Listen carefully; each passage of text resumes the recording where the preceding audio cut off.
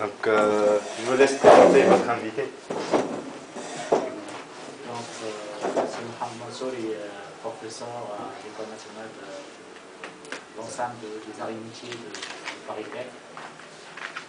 Donc, il travaille sur tout ce qui est problème tribologique, en particulier pour les automobiles. Donc, il essaiera de, de nous présenter l'ensemble des, travaux, un aperçu sur, sur, l'ensemble des travaux qu'il- Merci pour cette introduction. Euh, Je ne vais pas vraiment présenter l'ensemble de ce qu'on fait, mais comme on était dans un jury de thèse qui a traité en fait la simulation euh, du moteur euh, pour l'automobile, on a une grosse activité avec Renault sur ce sujet-là. Pas de la même façon comme ça a été présenté dans le cadre de la thèse, mais plutôt sur les, leviers de réduction frottement moteur dans les pièces mobiles du moteur. Simon, le, laboratoire, en fait, c'est un laboratoire. Donc, voici la carte de, France. Et vous avez ici les différents sites des arts métiers. Donc, il y a huit sites ENSAM avec trois instituts. On est même euh, présent sur la Corse. hein. Et donc, les trois centres ENSAM euh, donc, qui sont impliqués dans le laboratoire qui est MSMP, mécanique, surface, matériaux, procédés. Donc, c'est le site de Lille, de Châlons-Champagne et de Aix-en-Provence. Euh, ce laboratoire, donc, comme son nom l'indique, traite des problématiques de, mécanique, de surface et des procédés. Et moi, je pilote euh, une activité sur les trois sites concernant les procédés de fabrication. Et on utilise bien évidemment des outils euh, de l'ingénierie de surface, de tribologie, pour essayer de donner une, vision plus, on va dire, scientifique des procédés de fabrication, au-delà d'une optimisation d'ingénierie avec, comme vous connaissez, des plans d'expérience, on ne comprend pas ce qui se passe. Et donc là, je vais présenter euh, des travaux qui sont menés dans le cadre d'une plateforme avec Renault sur le centre de Chalon et qui euh, va être... euh, donc je vais introduire la problématique. D'une manière générale, je vais introduire en fait notre vision sur comment on traite les problématiques des procédés de fabrication indépendamment de la nature du procédé. Ça peut être de l'usinage, ça peut être de la fabrication additive, du soudage, peu importe le procédé. Euh, en se basant sur un concept qui a été développé dans l'équipe, c'est la signature euh, process multi-échelle. Et je vais focaliser sur euh, le, tribosystème segment flux cylindre dans le moteur, dans lequel on va essayer de voir comment la texturation du cylindre, du flux de carter cylindre, va impacter la, fonction tribologique. Et ensuite, bien évidemment, tout travail qui se respecte, il faudrait quand même qu'on fasse un dialogue entre expérimentation et simulation, parce que sinon, si on veut développer des manips, euh, ça va être quand même très, très, très coûteux.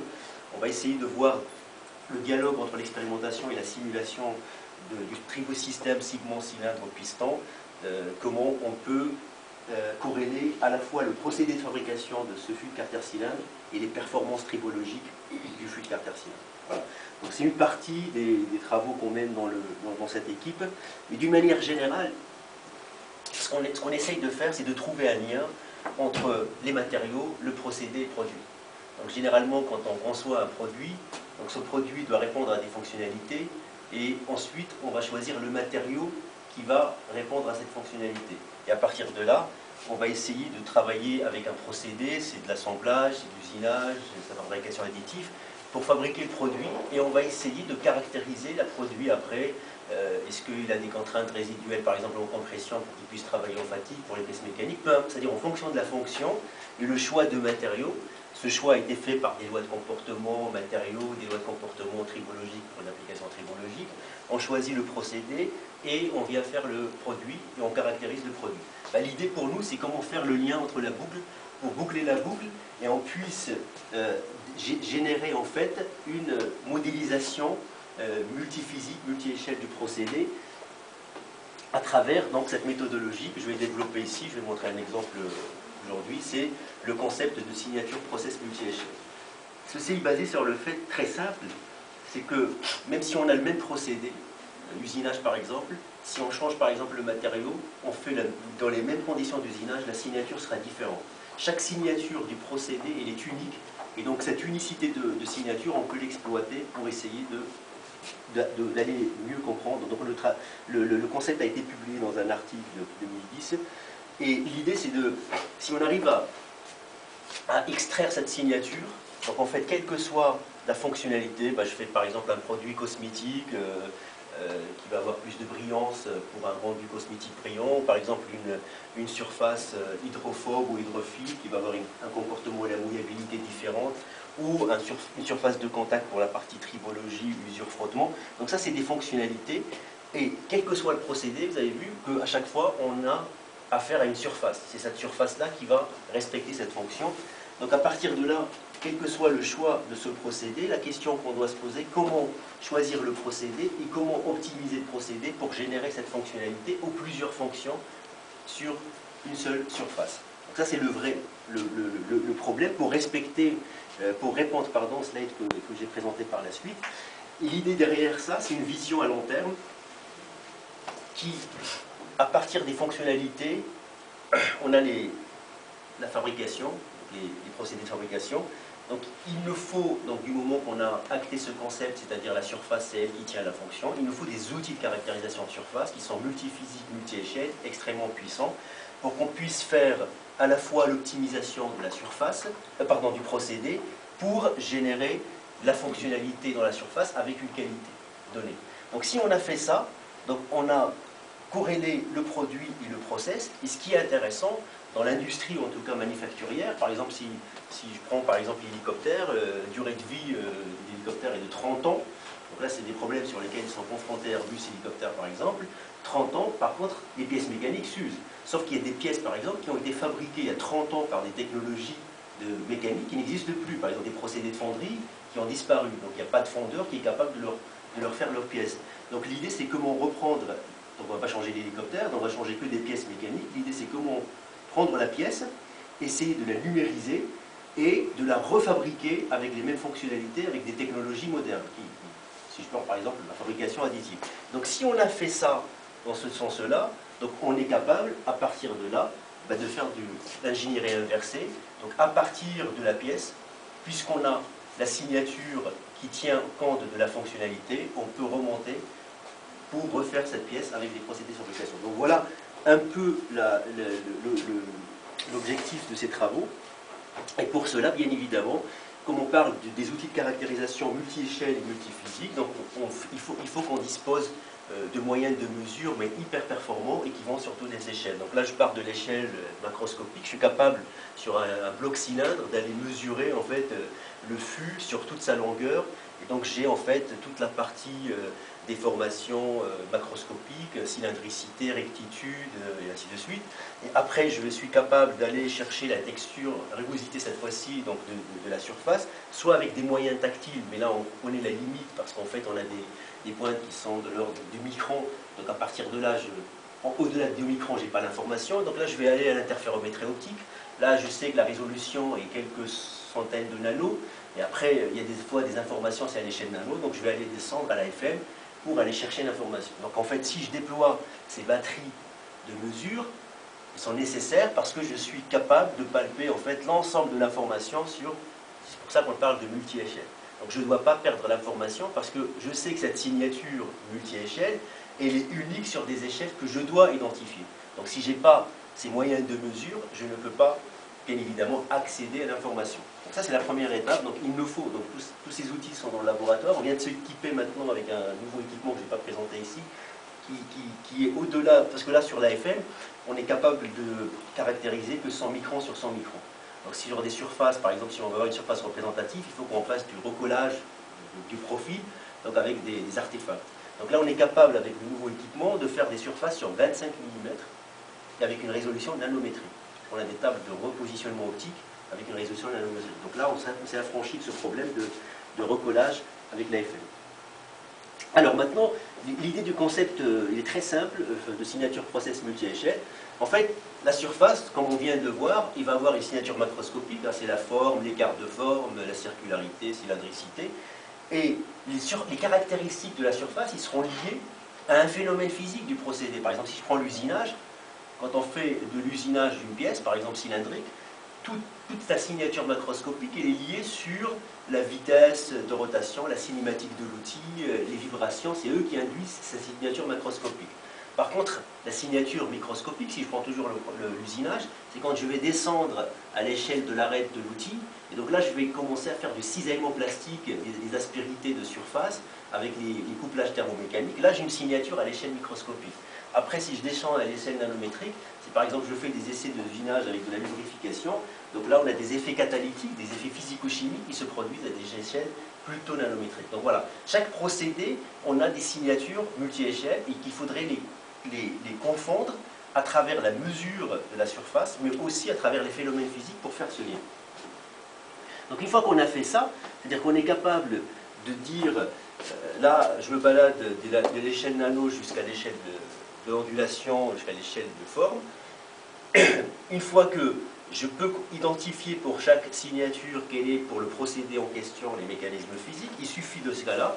C'est ça la, puissance de cette méthodologie, parce qu'on ne peut pas modéliser l'ensemble des phénomènes. Hein. Les phénomènes sont très couplés, euh, et généralement, le résultat qu'on a, c'est pas le, parce qu'il y a des gens qui s'amusent à faire des lois de comportement euh, par exemple euh, Johnson Cook, température, pression, déformation, vitesse de déformation, mais on sait très bien que la réalité physique, c'est qu'il y a couplage, certes, mais qu'il y a au moins un phénomène qui est dominant, ou deux phénomènes qui sont dominants, c'est pas la peine de modéliser l'ensemble des phénomènes. Donc l'idée ici, c'est que je prends ma surface initiale, par exemple la surface avant usinage, ou la surface avant soudage, je la, je la mesure, j'ai la cartographie multi-échelle, je fais procéder, donc je l'instrumente d'une manière la plus physique possible, donc je mets tous les capteurs possibles pour faire une instrumentation in situ, donc pour avoir l'effort, l'énergie, la température, tout ce que je peux avoir, c'est très bien. Parce que ça va m'aider après à, dépouiller les résultats. Et une fois qu'on a usiné par exemple la surface, je reprends cette surface et je recartographie la surface multi-échelle. À partir de là, je détermine la, la fonction de transfert, et je vais identifier cette signature multi-échelle du process parce que je suis capable, entre les deux états, de déterminer des fonctions poids qui, vont montrer sur quelle échelle j'ai agi. Donc on le voit très clairement, je vais montrer dans les... Et à partir de là, une fois qu'on a cette fonction de transfert, et une fois, qu'on a les, retours avec l'instrumentation physique, donc on va pouvoir euh, comprendre et optimiser. Maintenant, c'est très bien, ça c'est très bien, euh, comment je vais analyser euh, cette signature multi-échelle? C'est-à-dire, euh, les gens, ce qu'ils font, on l'a vu hier, je ne sais pas si la doctorante, qui est docteur maintenant, elle est là, mais on va les séparer, on va faire du filtrage. C'est-à-dire, vous allez, vous allez avoir le, signal topographique de votre surface, et après on va filtrer parce qu'on est incapable de traiter l'information. On va dire, bon, je mets un cut-off de quelques millimètres, donc là je, je sors que les ondulations et je ne m'en préoccupe pas de la rugosité. Ensuite, je descends le cut-off, donc là j'ai que la rugosité. Donc ça veut dire quand je filtre, je perds l'information. Donc je traite un problème déjà compliqué sur la base d'informations qui est euh, tronquée. Donc là l'idée, il me faut des méthodes mathématiques qui sont capables de ne pas faire du filtrage, mais d'analyser la signature multi-échelle sur l'ensemble des échelles. C'est pour ça qu'on fait appel, il y a plusieurs techniques, hein, mais euh, nous, nous, on fait appel à, à, la méthode d'analyse par ondelette continue ou discontinue suivant les, problèmes qu'on va traiter. Parce qu'en fait, c'est très simple, juste, bon, ça c'est des équations euh, qui, permettent de dire il faut choisir la fonction d'ondelette, ensuite il faut faire la transformer du signal topographique, et par méthode inverse, on reconstitue le signal pour aller voir l'ensemble des échelles. Mais juste pour vous donner une idée, c'est très simple, c'est comme si vous avez un microscope mathématique dans lequel, quand vous allez faire du MEP, en fait, vous prenez votre surface, vous l'observez d'abord au microscope optique, ensuite vous zoomez sur la surface qui vous intéresse et vous commencez à descendre les échelles. Vous ne perdez pas l'information, c'est exactement la même démarche. C'est-à-dire, j'ai une fonction d'anglais, je vais la dilater et je vais la translater sur la surface et pour capter ainsi l'ensemble de la localisation des échelles pertinentes dans la signature. Donc en fait, euh, en fonction de... C'est vraiment un microscope mathématique dans lequel je vais introduire la, signature euh, multi-échelle et je vais avoir l'ensemble de l'information sur toutes les échelles. Pour vous donner, vous un exemple, c'est exactement la lumière blanche. Vous avez la lumière blanche qui arrive, vous faites un prisme et vous sortez après toutes les couleurs qui composent la lumière blanche. Vous ne perdez pas l'information, vous avez tous les angles euh, chromatiques qui composent la lumière blanche. C'est exactement la, même démarche. Donc j'ai un signal topographique que je n'ai pas filtré, c'est la réalité. Je le passe devant dans ce microscope euh, mathématiques et je vais avoir le spectre de tous les échelles qui composent le signal. Alors comment on fait? Bon, Il y a un algorithme, donc on part du Voilà, donc là je prends un exemple simple pour comprendre, c'est le signal 2D, mais normalement on peut faire du 3D, c'est ça ce qui est intéressant.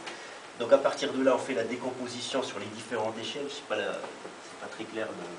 Normalement ici, on a les valeurs du zoom du mathématique de, la fonction, donc en fait c'est les, translations et l'amplitude qui correspondent à des échelles d'analyse.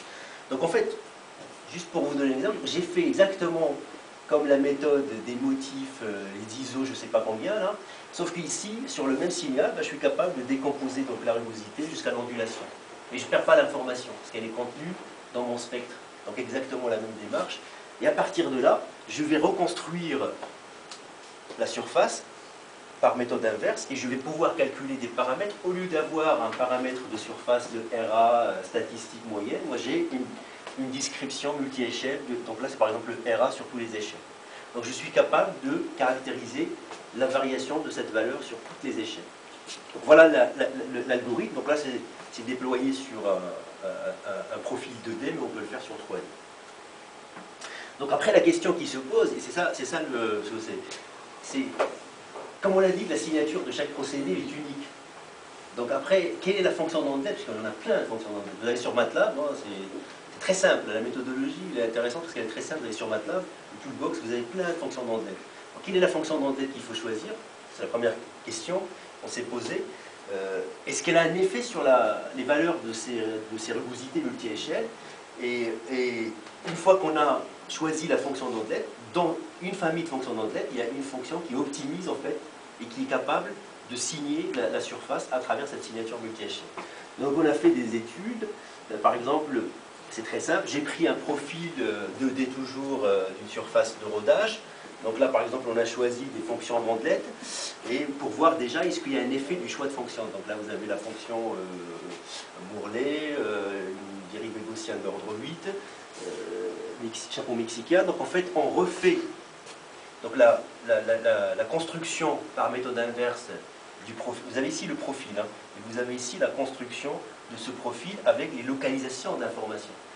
Je ne sais pas si c'est pas très clair, mais on peut tout, de suite ici dire que la fonction d'endette a un effet. Parce que je n'ai pas la même localisation d'information. Vous voyez ici comment on localise l'information par rapport à ce, ce, pic de ce, pardon, cette vallée euh, du rugosité, ce n'est pas la même localisation dans les, trois, dans les quatre fonctions ici. Donc en fait, la fonction d'endette a un effet sur la reconstruction du profil. Et donc, du coup, ça, c'est important de choisir la bonne fonction. Bah, comment on va faire? D'autant plus, bon, là, on voit bien que dans la reconstruction, il y a un effet. Si je refais les calculs, par exemple, de ce paramètre-là, euh, de la rugosité, avec les on voit bien que je n'ai pas les mêmes valeurs. Donc, en fait, en fonction du choix, j'ai une rugosité spectrale, donc sur toutes les échelles, qui varie. Donc, la fonction d'Andlet, ça se rapproche, mais il y a quand même des effets. ça veut dire si je veux faire confiance à, ce concept de signature process multi-échelle, il faudrait que j'ai la bonne fonction d'entête, le bon euh, microscope mathématique, on va dire ça comme ça, qui est capable de localiser l'information sur mon profil euh, dans l'espace et localisation fréquentielle et spatiale, les deux cas. Alors comment on va faire? Ben, C'est très simple, on prend par exemple les...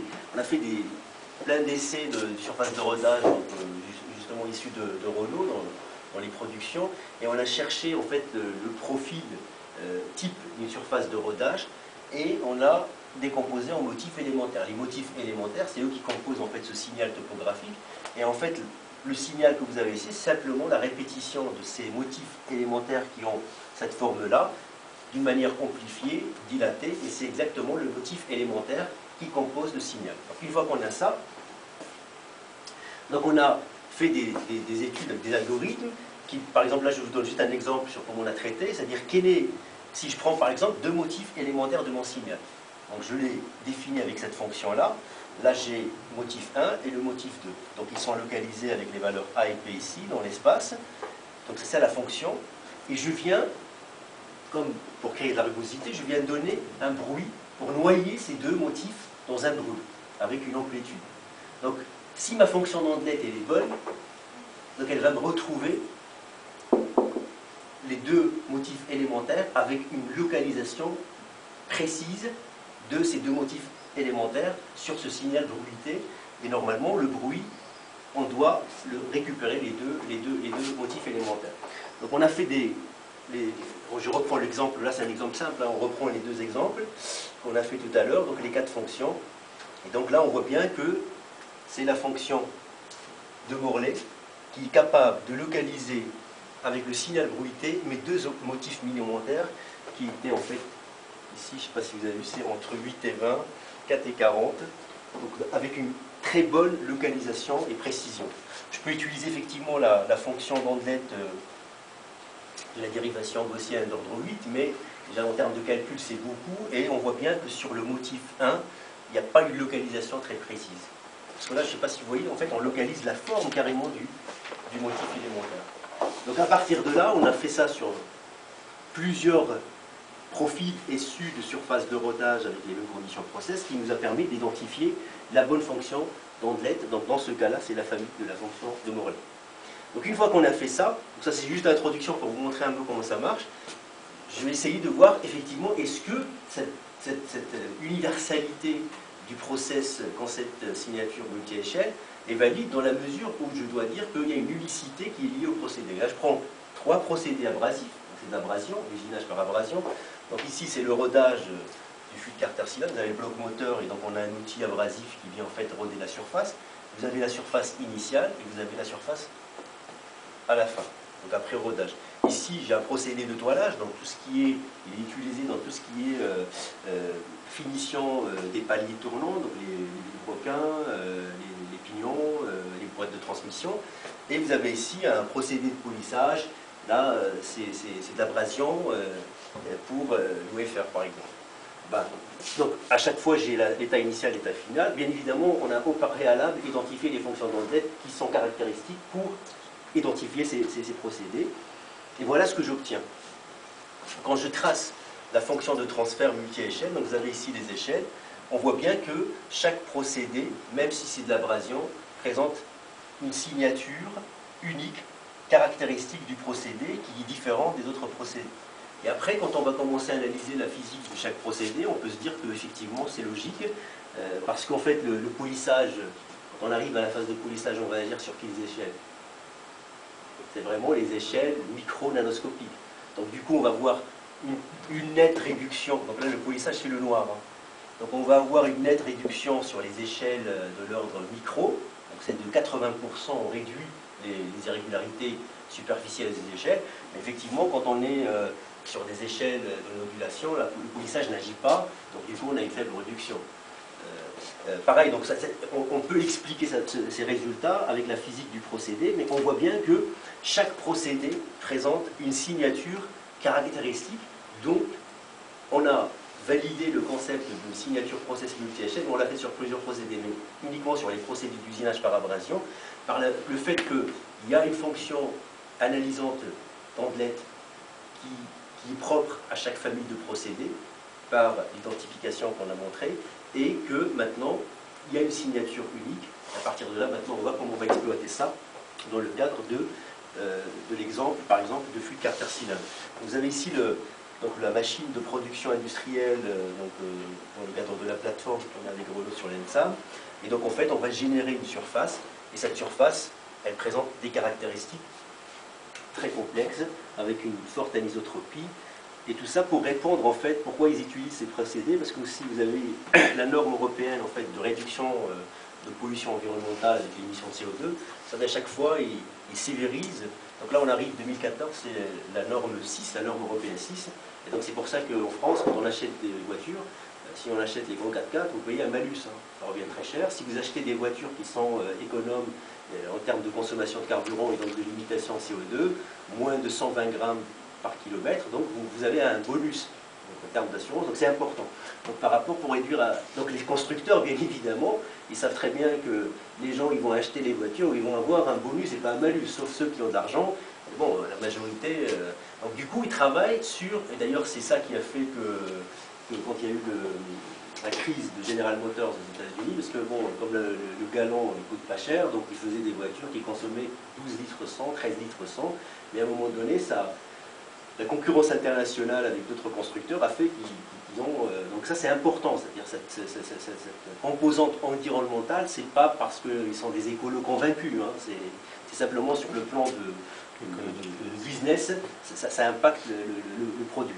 Donc du coup, il y a un autre, un problème aussi, c'est que euh, sur un litre de carburant, il y a 65% euh, qui vont dans la chaleur, donc mais ça, ça on ne peut rien faire, c'est la thermodynamique, parce qu'on fait des moteurs thermiques de combustion, et 35% qui vont, se, qui vont être transformés en travail pour donner le, mouvement de, la voiture. Mais dans ces 35%, il y a une grosse partie qui est perdue pour vaincre les résistances euh, moteurs des pièces mobiles par frottement.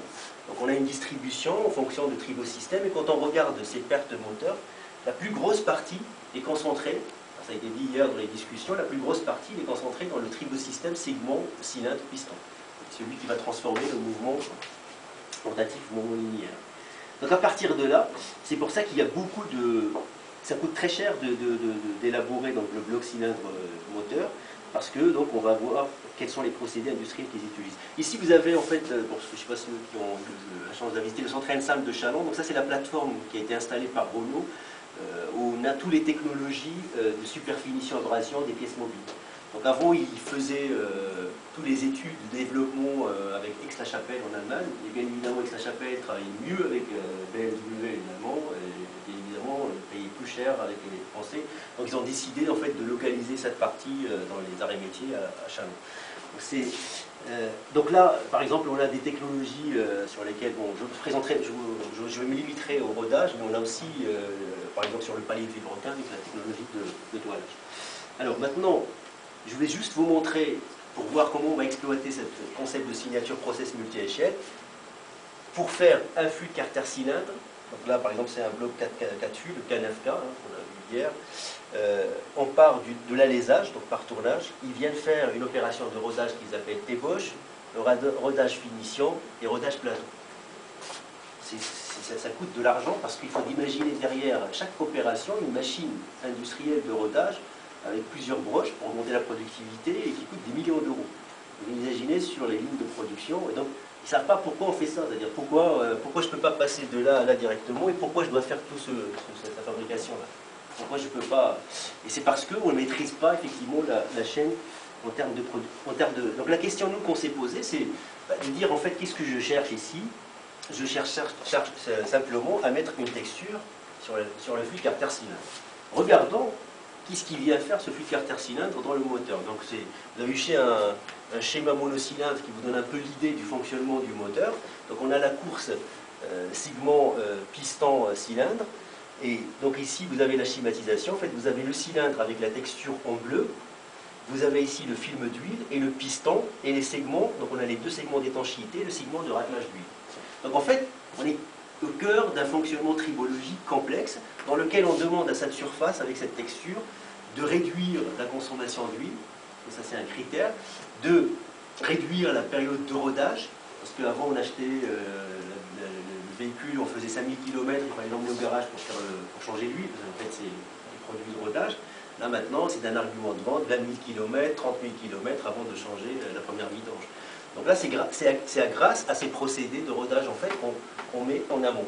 Bien évidemment, il faudrait aussi, quand on, quand on fait la course de segmentation, quand on est en bas moteur ou en haut moteur, donc vers la chambre d'admission, on n'est pas en régime euh, de lubrification hydrodynamique, on est en régime mixte voire limite.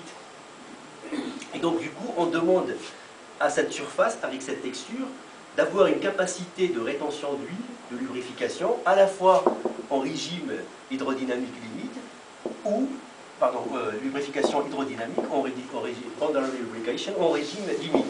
Et en même temps, on lui demande de réduire les, frottements et, ainsi de suite. Donc, je peux encore euh, rajouter d'autres fonctions. Donc ça veut dire, et tout ça sur cette, sur cette texture. On a vu hier dans l'étude que finalement, euh, le, comment le, le,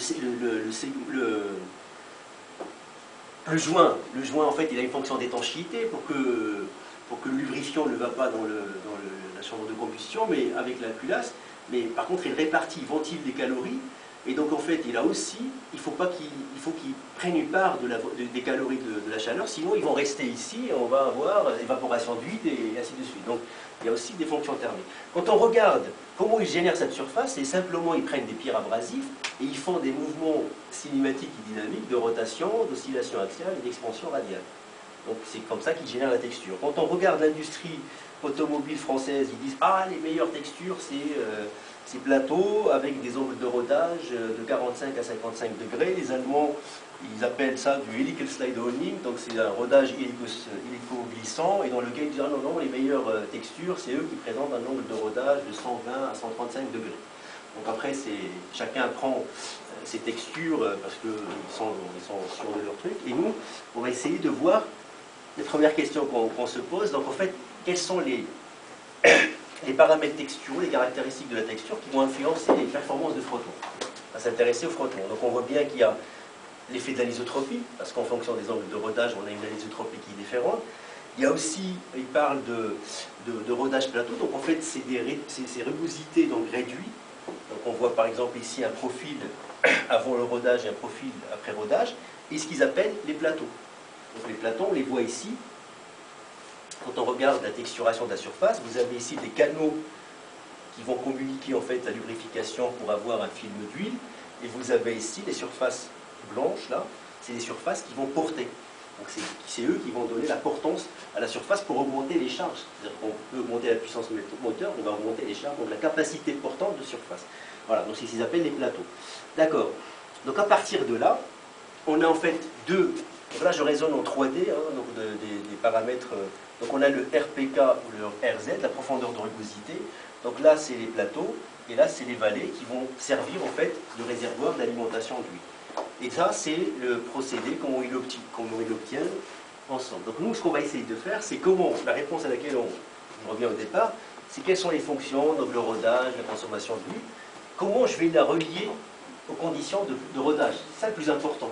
Donc je m'affranchis de cet empirisme qui est lié à plusieurs phases de rodage pour arriver à un résultat avec une fonctionnalité, une texture qu'on ne comprenne pas, qui répond bien aux besoins fonctionnels, mais qu'on ne comprenne pas. Alors on va, faire, on va faire, on va utiliser notre concept, et l'idée c'est que je vais me servir moi, parce que ce que j'ai ici c'est la texture, je vais me servir de cette texture et de la signature du process pour à la fois optimiser le procédé et à la fois optimiser le produit et faire une corrélation produit-process directe à travers cette signature multi Donc après, quand je viens à la littérature, pourquoi on fait ça? Parce qu'en fait, si je veux modéliser, donc c'est du rodage, c'est de l'abrasion, si je veux modéliser le procédé, c'est hyper compliqué parce qu'on a des phénomènes dynamiques, cinématiques. Donc quand on regarde la littérature, vous allez trouver des méthodes euh, des modèles analytiques qui vont euh, découper l'abrasion en mode élémentaire, on fait de labourage, on crie des sillons, ou bien on fait de la coupe, et en fonction du matériau, est-ce qu'il est fragile ou ductile, donc on va avoir fracturation et fissuration. Il y a d'autres travaux sur l'échelle expérimentale qui vont développer un tribomètre qui va simuler ici le rodoir avec des pierres abrasives, mais ils vont avoir une approche plutôt méso-macroscopique qui va relier en fait, euh, par exemple, l'énergie spécifique euh, de coupe par abrasion, mais cette énergie ne corrèle pas les performances de la surface. Ils vont obtenir une, optimisation du procédé en termes de, production, mais pas la surface. Et même d'autres qui vont développer des méthodes analytiques pour modéliser le, rodage. Le problème, c'est qu'ils vont considérer que la pierre abrasive, un seul grain abrasif, et ils vont euh, faire un modèle d'abrasion. Sauf que le problème, c'est que la pierre abrasive, euh, c'est stochastique, il y a plein de grains abrasifs, et sur un rodoir, on a six pierres abrasives. Donc on a des, infinité de grains abrasifs, donc le modèle, il est quand même très, très limité en termes de... S'ajoute à ça le fait que euh, dans le procédé, j'ai des paramètres machines, j'ai des paramètres liés à, au rodoir qui, a une caractéristique très spécifique, parce qu'en fait c'est un outil, c'est lui qui donne le mouvement, donc il prend la rotation, l'oscillation axiale, et l'expansion radiale des pierres abrasives, qui peut être expansion mécanique ou expansion hydraulique. en fait, on a une dynamique de l'outil qui est importante. Et quand je regarde des grains abrasifs, pareil, donc en fait, on a plusieurs paramètres. Bien évidemment, se rajoute aussi le paramètre matériau, parce que quand je fais du canafka, donc un carter cylindre en fonte, GL ou GS, c'est pas pareil. Ou quand je fais un carter en aluminium avec, avec une chemise en fonte, donc c'est pas pareil. On n'a pas les caractéristiques matériaux. Et juste pour vous donner une idée, les paramètres machines, juste du rodage, il y a 450 paramètres. On s'amuse à faire les plans d'expérience, on ne va pas s'en sortir, plus les plans d'expérience sur les outils, on va rester là. Donc après, ça, c'est ce qu'ils font dans, l'industrie. Mais euh, après, comment ils font, une fois qu'ils ont fait ça, ils ont optimisé leur procédé, comment ils font pour qualifier la surface, c'est-à-dire pour qu'elle dise qu'elle répond aux besoins fonctionnels. Donc ils font, ils, ont, ils qualifient la surface de texture par un fax film, on fait une réplique du cylindre, et ils vont observer les surfaces, ils vont dire qualité 1, 2, 3 et 4. D'accord? Et la topographie, ils vont faire en fait la courbe de Dabot sur un profil 2D. Voilà, on a une surface qui est anisotrope, qui, qui, qui, est texturée, avec des, avec des différentes directions euh, privilégiées, et on va qualifier la qualité juste avec un profil 2D. En plus, sur la base d'une appréciation visuelle de ce qu'ils appellent des experts métiers, ils se sont amusés un jour à mettre les experts métiers euh, de Renault Group, hein, qui sont basés à Valladolid en Espagne, en Turquie et en Roumanie, dans une salle, on leur a donné des, répliques, il n'y a pas un qui ait qualifié la surface de la même façon. effectivement, c'est un vrai problème. Donc, donc, donc c'est subjectif, c'est pas adapté à une évaluation de la qualité d'une surface anisotrope, et on a des, surfaces qui sont euh, euh, difficiles. Donc après, l'idée derrière, ce qu'on va faire, c'est que nous, on part de la surface. Donc voilà la surface en 3D, c'est des surfaces qui présentent des, stries, qui sont profonds au plateau, qui présentent une texturation avec un angle de rodage donné. Et donc on a la rugosité au niveau des plateaux et on a les vallées. Donc dans les vallées, on a encore des rugosités, on a des, angles de rodage. Et l'idée, c'est de rajouter en fait des paramètres et de les lier aux fonctionnalités de la surface en termes de frottement et de lubrification. Donc voilà, ça c'est pour dire que le rodage est empirique, industriellement, qui a un manque d'études scientifiques pour, euh, pour, euh, modéliser et comprendre. Et en plus, on n'a pas des caractéristiques, des critères pardon, objectifs pour caractériser les fonctionnalités de cette surface. Donc d'où ce travail-là, dans lequel nous, on est parti de la surface, on a rajouté des paramètres qui sont liés à la texture. Ça veut dire qu'on a dit on ne va pas prendre simplement la rugosité avec la coupe d'abode, là, sur un profil 2D. On va prendre cette rugosité, mais sur un profil 3D. Et on va rajouter, en plus de l'angle de rodage, qui était déterminé par un expert métier comme ça visuellement, nous on va le caractériser objectivement, on va le mesurer. Et on va rajouter la, densité des stries, on va rajouter euh, le rapport de stries, parce qu'on a des stries droites, stries gauche, donc le, rapport de cette striation, et on a des, des, stries qui sont interrompues, donc ce qui fait qu'ils bloquent, qu'ils bouchent les canaux de, de, circulation de lubrifiant, donc qui dégradent la qualité de surface, on va les mesurer aussi. Comment on va faire? Je vous passe un peu les développements. Simplement, euh, on fait un profil 3D de la surface. Vous avez ici, par exemple, la strie euh, gauche, strie droite. On fait simplement une transformation de radeau, donc en fait, les coordonnées cartésiennes, coordonnées polaires. Ici, j'ai une ligne, ici, je vais avoir un point. donc, sur, sur cette ligne-là, avec les différents points, en fait, je détermine l'ensemble des stries de, ce côté-là, et de ce côté-là, les stries droite. Donc là, je suis capable de déterminer, en fait, sur une surface 3D, la texture, en termes de stries de densité de stries. Et donc là, je suis capable non seulement de donner un angle de rodage moyen comme il fait l'expert métier, mais je détermine la une rosette de distribution de l'angle de rodage sur la surface avec une valeur moyenne. Donc ça, c'est objectif. À chaque fois que je prends ma surface, je fais la réplique, je retrouve cette, mesure-là. C'est très objectif. Deuxièmement, je vais définir de nouveaux critères qui vont m'aider à fonctionnaliser ma texture. Donc la densité, c'est sur la surface que j'ai analysée, je vais déterminer la densité de stries et un rapport de string. Une fois que j'ai fait ça, je vais déployer d'abord le concept de process euh, signature multi-échelle que j'ai présenté au départ dans le cas du rodage.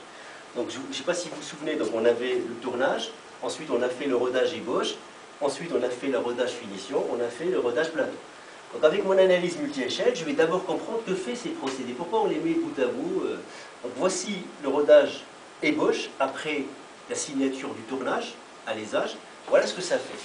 Je ne sais pas si, si c'est clair, mais on voit bien avec la fonction transfert que le rodage ébauche, il va réduire les irrégularités à l'échelle de l'ondulation, à l'échelle de la macro-rugosité, hein, je ne sais pas si vous le voyez ici, mais par contre, qu'est-ce qu'il fait? Il régénère de la micro-rugosité.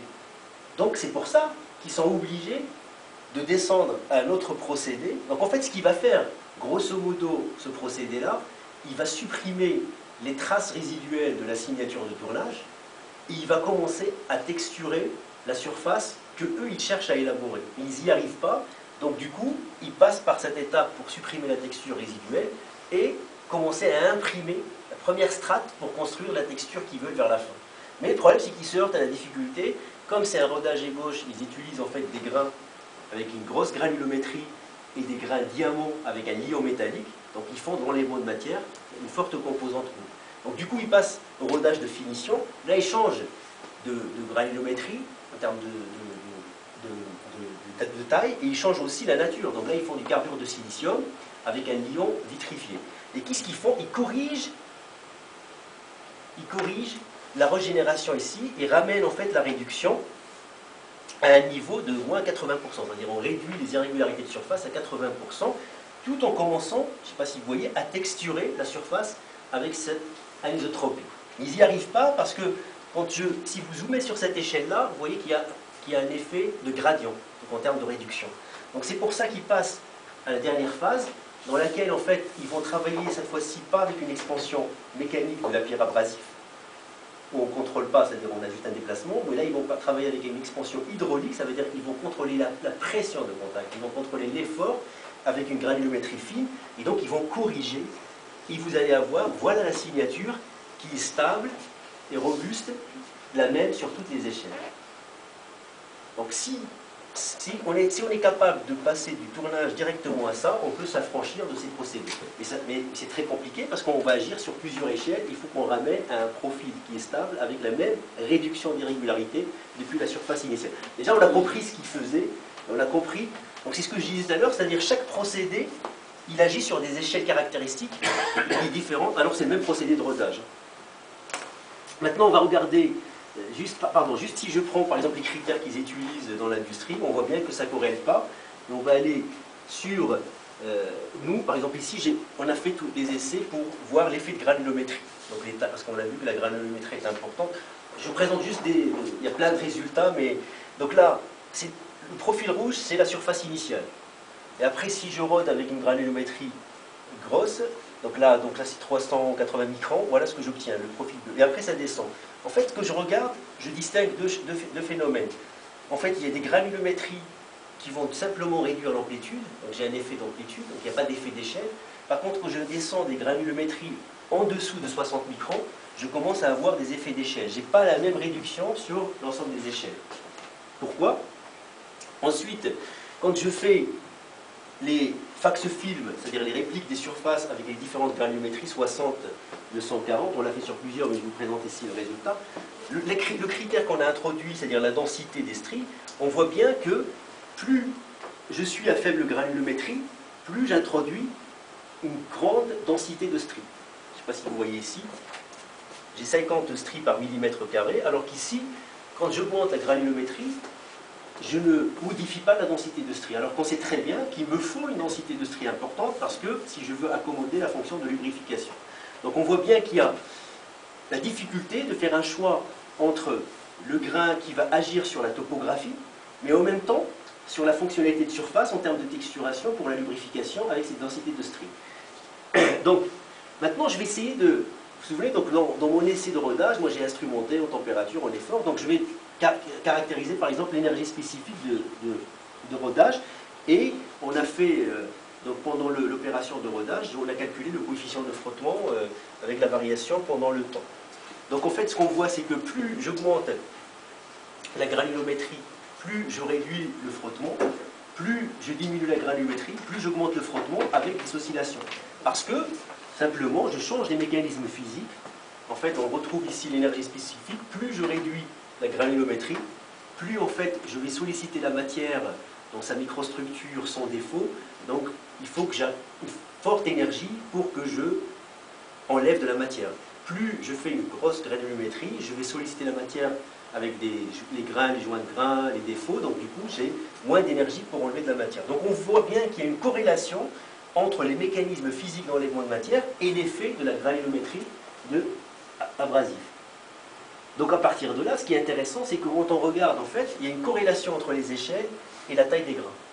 Donc à partir de là, l'ingénieur concepteur du processus de rodage, s'il se met ici, dans cette zone-là ou dans cette zone-là, il peut dire, bon, je veux juste réduire l'amplitude ou je veux faire un effet d'échelle, et donc il fait un choix de granulométrie, cette fois-ci, avec une façon plus, euh, plus, plus, plus, plus scientifique. Après, je vais vous montrer un autre exemple c'est-à-dire, on s'est posé la question pourquoi, euh, quand on veut faire du rodage ébauche, on utilise des grains euh, diamants avec du lion euh, métallique, et quand on fait du, rodage de finition ou de plateau, on utilise des carbures de silicium avec euh, bande vitrifiée. Bon là, ça fait quand même, avant de changer l'outil, ça fait 1000 à 1200 fûts. Ici, ça ne peut pas faire plus que 300 fûts. On a compromis entre la productivité, mais aussi le problème de la qualité n'est pas bon, donc c'est pour ça qu'on l'utilise en ébauche. Donc l'idée c'était, est-ce qu'on ne peut pas faire euh, du diamant, parce qu'on a de la coupe, et la résine doit être vitrifiée avec un ion euh, résinoïde pour avoir cette souplesse l'outil et s'affranchir. Donc en fait, est-ce qu'on ne peut pas innover dans les pierres abrasives Donc on a fait cette étude-là en utilisant, euh, donc quand on fait par exemple juste les, les caractéristiques avec les, en, termes de, en termes de productivité, en termes de, de densité, euh, d'énergie spécifique, donc on ne peut pas tirer de conclusion sur quel est le, quel est le quel est l'outil entre le diamant métallique avec un ion métallique, le diamant vitrifié au résinué quel est le, bon outil. Par contre, quand on fait, ici j'ai tracé, je vais passer rapidement là-dessus, l'effet du lion, vous avez ici, avec le spectre multi-échelle, on voit bien que cette, c'est cette, pierre abrasive qui est la meilleure parce qu'elle introduit des, réductions d'irrégularités superficielles sur toutes les échelles avec une forte irrégularité. Ce qu'on ne pouvait pas tirer comme conclusion avec les essais. Ce qu'on a fait aussi, c'est que ce qui est intéressant dans cette approche, c'est qu'on est capable maintenant, sur l'ensemble des variables process, on les a classifiées en deux jeux. Il y a des, variables du procédé qui ont un effet d'échelle. On a vu la granulométrie, on a vu ici, euh, par exemple, le, le, lion euh, métallique ou euh, non métallique.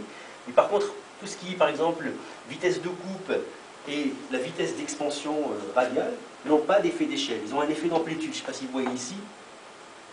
Plus j'ai réduit ou j'augmente la vitesse, la vitesse, en fait je, réduis l'amplitude de la variation. Il n'y a pas d'effet d'échelle, c'est la même amplitude qui est atténuée, donc il n'y a pas d'effet d'échelle. Ça c'est important parce qu'on est capable maintenant, en fonction de la phase du rodage ou du procédé, de dire si je modifie ce paramètre, attention, il y a un effet d'échelle, donc je vais agir sur les différentes échelles. Si je prends ce paramètre-là, je l'augmente, je le diminue, j'ai juste un effet d'amplitude. Donc on commence maintenant à comprendre qu'est-ce qui fait le procédé à travers ces paramètres process. Maintenant qu'on a fait ça, on va venir sur la deuxième partie, rapidement, hein, pour dire comment on va corréler le produit. Donc là, vous avez ici, donc ça c'est un truc, euh, c'est une courbe de Nissan qui, montre les tendances de sévérisation sur ces fûts de cylindres au fur et à mesure que les normes européennes ont augmenté.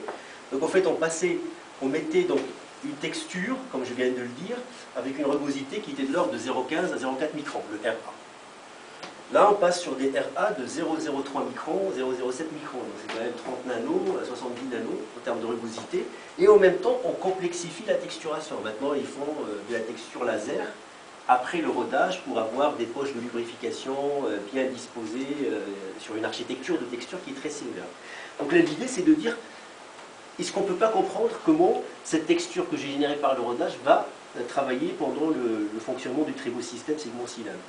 D'autant plus quand on regarde euh, les différentes textures de, l'industrie automobile, donc je vous ai dit, il y a plein, euh, les Allemands font plein de choses, notamment par exemple ici vous avez une texture rodée et ensuite texturée par le laser. donc voilà, donc on ne sait pas quelle est les performances fonctionnelles. Donc là, on a fait, euh, si vous faites de la littérature un peu sur euh, tribologique, sur quand on change les textures, comment on peut changer les performances en termes de frottement et de lubrification. On trouve des travaux dans la littérature. Bon, ils se sont amusés à faire des, textures sur la même surface, hein.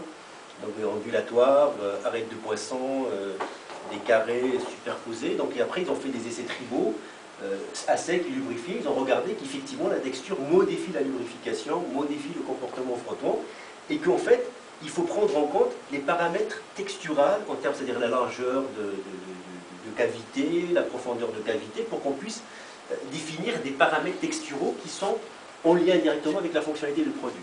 C'est ce qu'on a fait. On a fait une modélisation très très simple du système segment-cylindre-piston. Donc on a dit finalement, quand vous avez regardé le fonctionnement entre le piston et le cylindre, ce qui, qui est en contact, c'est les segments les segments d'étanchéité ou les segments à Donc on a fait une modélisation euh, en, lubrification hydrodynamique, comme ça pour simplifier le problème. Donc là on a l'équation de Reynolds. La seule chose qu'on a dit, comment on va prendre en compte de la texture. Et donc du coup, des caractéristiques texturales, donc on a rajouté un terme ici qui est le, la rugosité 3D de la surface. Donc on a rajouté un terme, donc Z en fonction de XY. D'accord? Et comme on a défini auparavant euh, la densité de stries, euh, la- le ratio de stries, donc on peut maintenant euh, simuler numériquement cette texture et faire déjà euh, les calculs d'un point de vue numérique avec cette équation de Reynolds. Donc voilà ce qu'on a fait. Donc on a généré des textures avec différents angles de rodage. Tout paramètre texturaux par ailleurs sont constants. Et voilà ce qu'on obtient. En termes de frottement, on obtient cette courbe-là. Donc en fait, où à la fois les Français et les Allemands, ils ont raison. C'est une histoire de symétrie. Donc en fait, quand on est à 45 et 500 55 degrés, on est entre 110 et 120 degrés. En fait, les deux angles de rodage qui donnent une anisotropie qui minimise le frottement, bah, c'est les deux la longueur. Donc là, c'est les Français, là, c'est les Allemands. Et là, c'est le Rhin qui le sépare. Donc, finalement, on les, a, on les a conciliés en quelque sorte. Par contre, ce qui est important, c'est de dire que un autre paramètre, c'est la densité de stries. La densité de stries, parce qu'on voit bien ici qu'il faut une densité qui minimise donc la surface.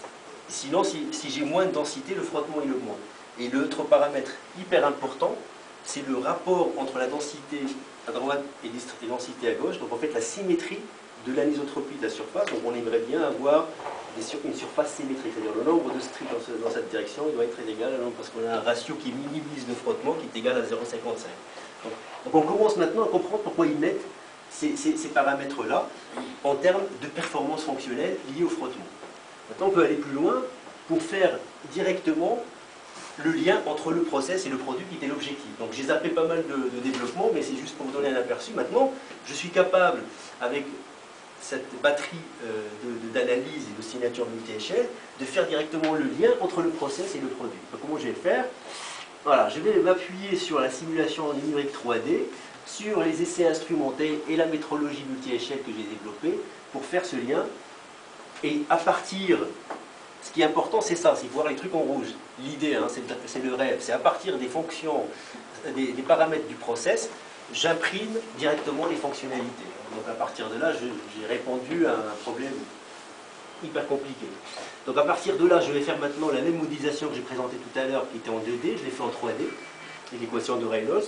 J'introduis la rugosité réelle de ma surface, donc l'implémente, je fais mes calculs, et je regarde, donc maintenant je suis capable, donc là j'introduis vraiment la, surface de rodage, et je suis capable de déterminer les champs de pression hydrodynamique, les épaisseurs fines, d'huile, en régime hydrodynamique.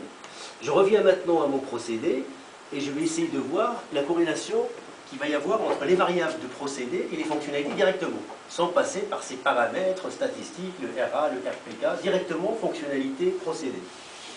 Vous avez ici euh, la texture de la surface que j'obtiens quand je change la granulométrie, 60 microns, 110 microns et 240 microns. Et vous avez ici le, résultat en termes de frottement, en termes d'épaisseur de film d'huile et en termes de granulométrie. Donc je mets directement un paramètre du procédé en lien avec la fonctionnalité de surface. Et on voit bien qu'il y a un compromis parce qu'en fait plus j'augmente la granulométrie, pardon, plus j'augmente la granulométrie, plus je réduis l'épaisseur de film d'huile. C'est normal parce que quand j'augmente la granulométrie, je ne sais pas si vous avez vu ici, vous avez des, des stries, des canaux de lubrification qui sont larges, donc effectivement donc j'ai un réservoir de lubrifiant, donc l'épaisseur de elle est réduite. Par contre, plus euh, j'augmente la granulométrie, plus j'augmente le frottement. Parce que cette surface, le frottement se, se situe au niveau de- des surfaces plateaux avec des pics de rugosité, donc elle est rugueuse, donc j'ai une augmentation de frottement.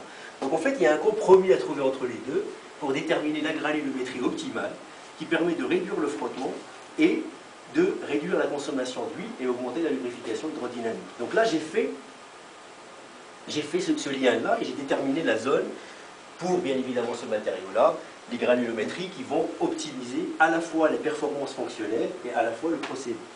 Après, ce qui est intéressant, c'est que je vais donner à l'ingénieur rodage, concepteur euh, process de rodage, des, éléments où il va plus raisonner en termes de, en termes de paramètres process, mais pour lui, la granulométrie, ça va devenir en fait la largeur de ces stries, et la vitesse d'expansion radiale de la pierre abrasive, qui donne en fait la dynamique d'indentation pendant le, le rodage, va devenir en fait la profondeur de strie.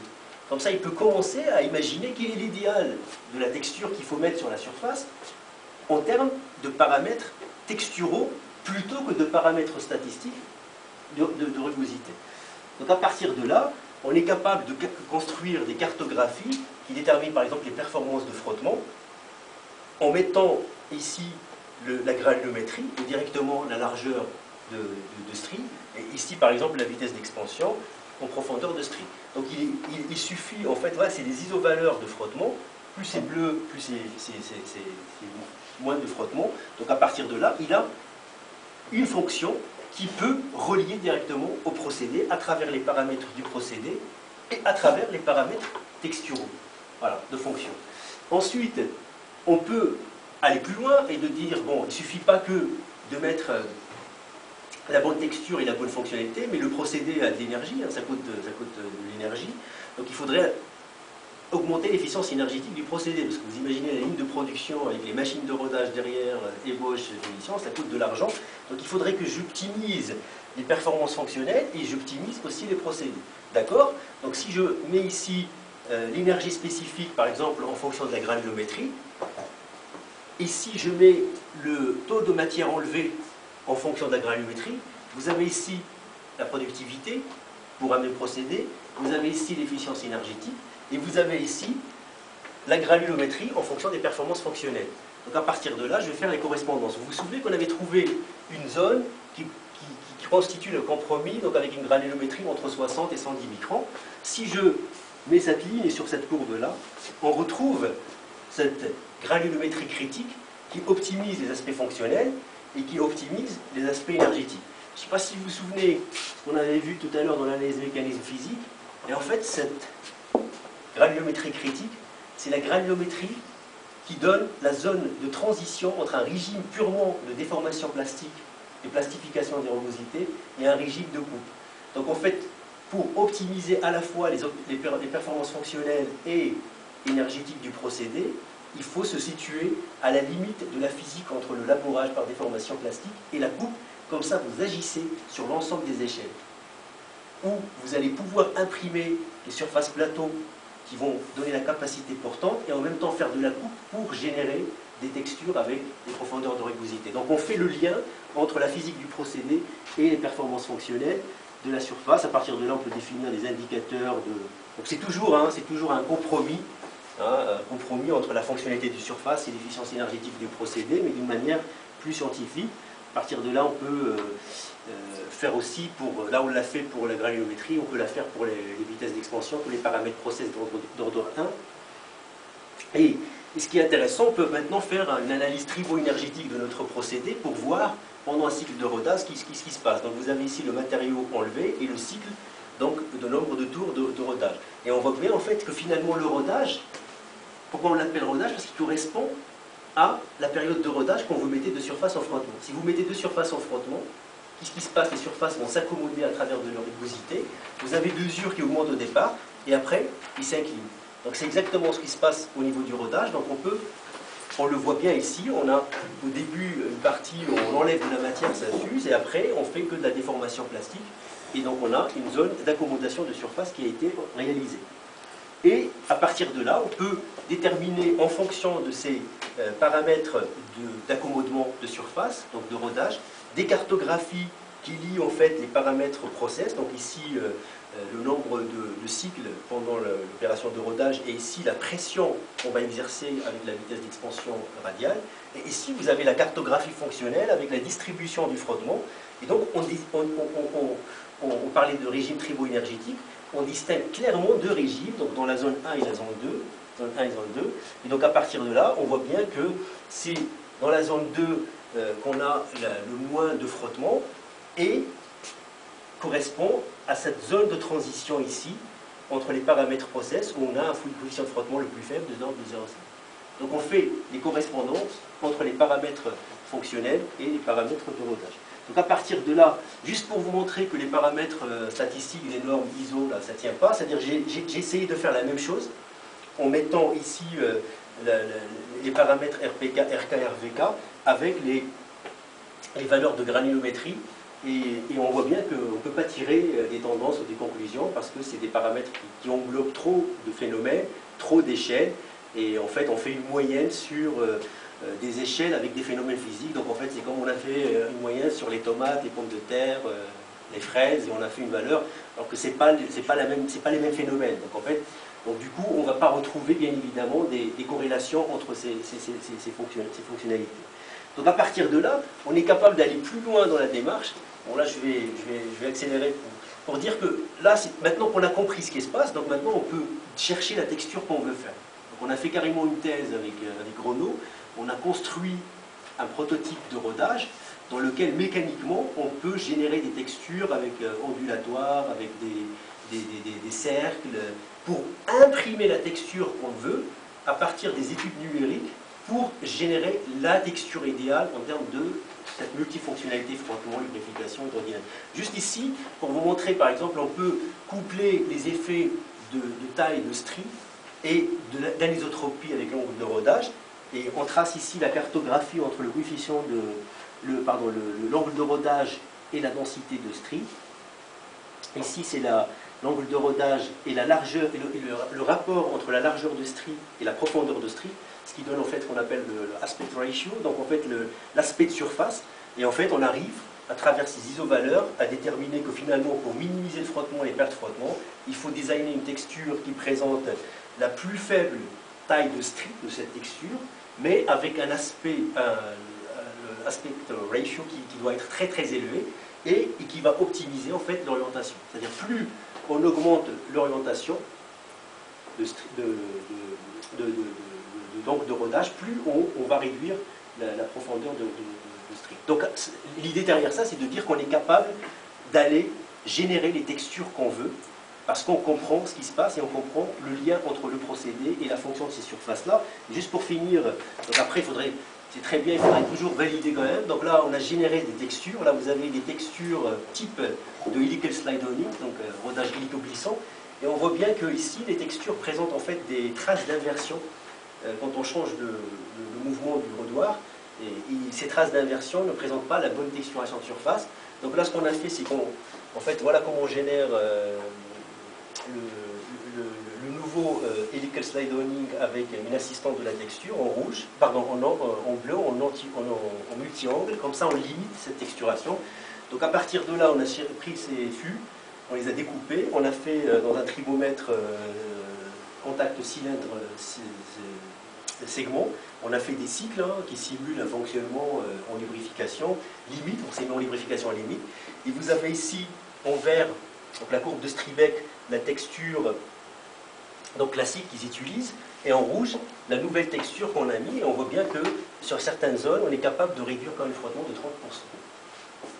Parce que on a cherché à mettre en place cette texture parce qu'on a compris le lien entre le procédé et euh, la, fabrication. Donc juste pour conclure, euh, la, stratégie scientifique a été développée, euh, son originalité, c'est qu'elle est capable en fait d'avoir une analyse globale en partant du procédé jusqu'au produit avec la fonctionnalité, et qui permet de s'affranchir de la subjectivité de ces paramètres de rugosité statistique, et d'introduire des nouveaux critères multi-échelles qui correspondent à la réalité fonctionnelle de la surface, à travers bien évidemment sa, texture et sa signature topographique qui est multi-échelle par nature.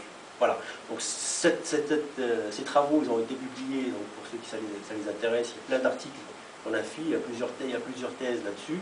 Et en plus, on les applique, la méthode est applicable sur plusieurs produits, sur plusieurs procédés euh, qui vont des surfaces optiques, euh, pour le verre ophtalmique, jusqu'aux surfaces cosmétiques, sur des, matériaux métalliques ou céramiques. Je ne sais pas si vous avez des questions, je n'étais pas trop bavard, mais je voulais quand même vous donner un peu un aperçu de, de ces travaux. Merci. Donc, on va prendre deux ou trois questions maximum. Je crois que vous avez un avion à prendre. Hein. Oui, oui, On a encore le temps de, poser des questions.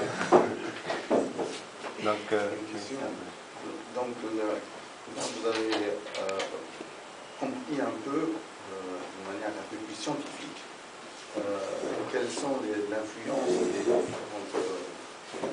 du procédé, de l'aspect physique du procédé sur la, sur la, la géométrie finale de, et donc vous avez la possibilité aussi de pouvoir créer une surface, tenant compte de cette connaissance de l'interaction entre eux, de pouvoir l'obtenir.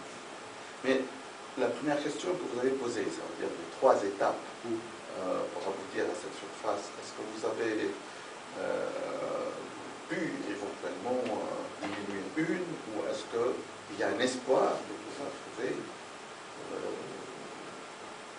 une, une manière de diminuer le coût important de ces des différentes opérations euh, Ah oui, de ah, ah oui, bah c'est pour ça qu'ils nous financent. hein, sinon, euh, ah oui, pardon, je l'ai pas, je l'ai pas, parce que ça c'est pour moi. Par exemple, sur les, donc on a fait euh, jusqu'à présent avec quatre thèses. Une c'était sur le procédé de toilage. En fait, ils faisaient pareil, trois opérations, le toilage euh, ébauche, toilage semi-finition, toilage finition. Donc on a supprimé une phase de toilage. Donc ce qui fait pour eux, pour le toilage c'est moins cher. C'était 150 000 euros de machines économisées sur les lignes de production. Vous voyez que sur Valladolid, ils ont euh, 10 lignes. C'est pour ça qu'ils financent euh, les thèses. Donc, sur, la, sur le procédé de rodage, on a démontré, donc la thèse va se soutenir la, semaine euh, en décembre, on a démontré qu'en fait, euh, sur le rodage euh, hélico-glissant, la phase plateau n'est pas nécessaire.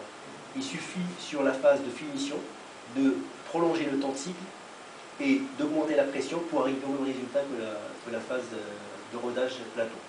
Euh, par contre, je pense que la question, euh, effectivement, on n'est pas allé jusqu'au bout, parce qu'il y a encore des travaux. L'idée, est-ce que, est que je suis capable maintenant de dire, une fois que j'ai fait la, surface virtuelle idéale, est-ce que je suis capable de la générer?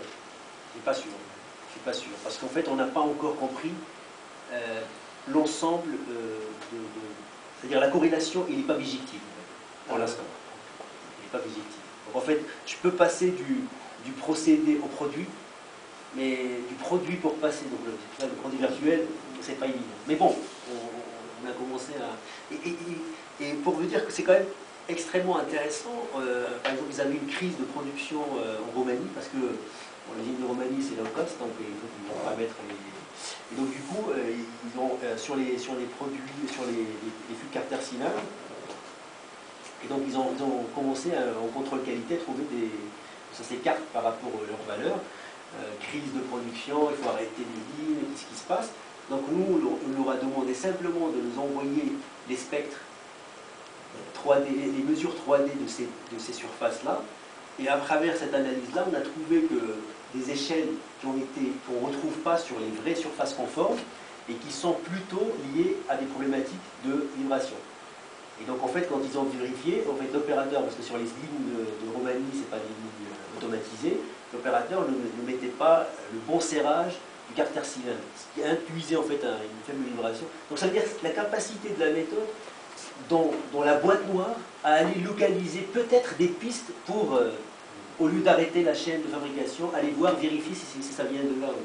Et une fois sur une crise de, de- de- de production sur les, les, des pignons fonds pour les boîtes de transmission en Espagne, pareil, à travers les, les mesures 3D de- des surfaces générées, on a identifié un problème d'échelle qui était lié à la granulométrie. Ils se sont aperçus qu'effectivement, que le fournisseur n'a pas donné les bonnes granulométries et que les opérateurs n'ont pas vérifié ça. Donc ça c'est important pour eux parce que sinon, euh, s'ils crise, ils arrêtent la production. euh, Voilà, ils quelle est l'origine, donc il faut bloquer, on ne peut pas produire parce qu'après derrière, il, peut y avoir grippage moteur ou boîte de vitesse. Et ils produisent quand même 250 euh, carters cylindres par ligne, donc ils ne peuvent pas se permettre ça. Il y a d'autres équipes qui travaillent sur euh, Oui, en fait, on participe euh, à des. il, y a, une communauté qui, qui s'inté- qui s'in- qui s'intéresse à la mesure, euh, métrologie et propriété de surface. Il, y a une conférence qui, a lieu tous les deux ans. Donc, euh, cette, année, elle va, avoir lieu à l'Université de Charlotte, euh, aux États-Unis. Et euh, on a même un, journal qui est créé spécifiquement, qui s'appelle Surface Topography and euh, euh, Metrology Measurement, je sais pas. Donc, mais par contre, donc il y a des équipes aux États-Unis, mais qui n'utilisent pas les mêmes méthodes. Il y a beaucoup qui travaillent par exemple sur les surfaces fractales. C'est à peu près les mêmes approches, mais c'est pas les. Il y a des gens. Mais, oui, mais là, vous avez deux aspects. Bien sûr, il y a une euh, caractérisation euh, de la topographie de la surface, c'est une chose. Mais ensuite, de pouvoir dire euh, quelle est l'origine en termes de génération, qu'est-ce qui permet d'avoir telle et telle chose, c'est une deuxième chose. C'est ça. l'originalité de nous. Ce qu'on essaye de faire, c'est d'utiliser. En fait, là, c'est des gens qui font soit que de la métrologie, soit que de la caractérisation. mais ils ne vont pas euh, faire le lien entre le procédé qui génère les surfaces et la fonctionnalité de ces surfaces dans le produit. C'est ça l'originalité du Scrum. Il y a des équipes euh, qui travaillent, mais pas sur cet aspect sur lequel nous euh, travaillons.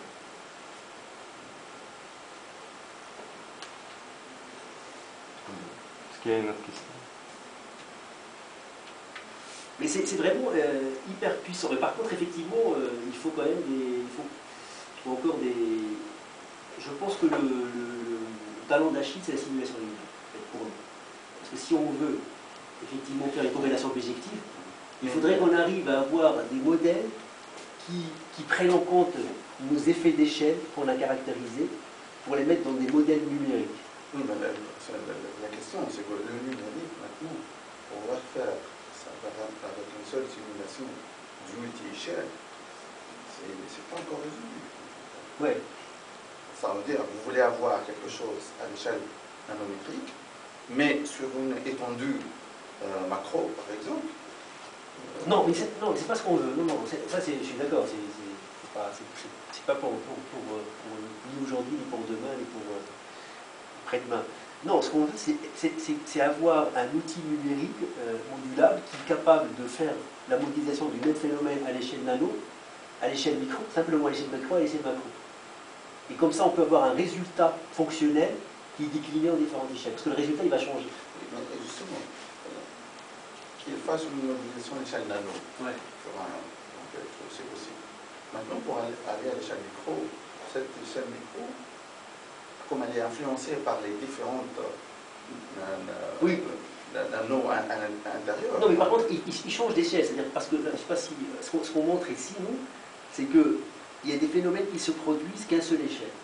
Et donc, et c'est par rapport à la fonctionnalité, c'est cette échelle qui nous intéresse. Donc, ça veut dire d'avoir, mais, mais il ne fait pas le lien entre les échelles. Juste faire une modélisation À euh, l'échelle à de- l'échelle donnée euh, et être capable de refaire la même modélisation, mais à une autre échelle. Mais sans tenir compte des, liens d'échelle. Euh, ça, ça revient en fait à la problématique de la tribologie, c'est-à-dire qu'on est capable de faire des choses à une échelle donnée, mais qu'on n'est pas capable d'extrapoler sur une autre échelle parce qu'on on manque en fait de, continuum euh, en termes de modélisation. Et voilà, c'est pour ça qu'on s'est on- on s'est orienté vers cette approche-là, euh, parce qu'on est quand même dans une école d'ingénieurs on doit faire une, rech- une recherche qui a pour objectif euh, une recherche finalisée. Et même si on peut s'amuser à faire des développements algorithmiques, que je n'ai pas présenté ici, sur toute la partie, les fonctions d'onglet et ainsi de suite, il faudrait qu'on trouve des, des outils euh, d'ingénierie qui peuvent, euh, c'est quand même impensable dans l'industrie euh, automobile maintenant, ils continuent à utiliser le RA euh, alors qu'ils savent très bien qu'il ne veut rien dire, euh, mais parce qu'en fait ils, ils veulent des outils qui sont euh, très, très pratiques. Donc c'était pour ça qu'on avait... euh, je ne sais pas s'il y a d'autres questions. Très bien, merci. Merci. Bon. Merci. Euh, merci de m'avoir donné l'occasion de, de présenter un peu ce qu'on fait. conférence imprévue, plus enrhumée et l'affaire. euh, Il va rater son avion en plus. donc, non, non, non. Là, il est que 14h30, c'est ça? 14 h 20 Ouais, c'est bon. 9h quelque chose, bon, je ah, d'accord. à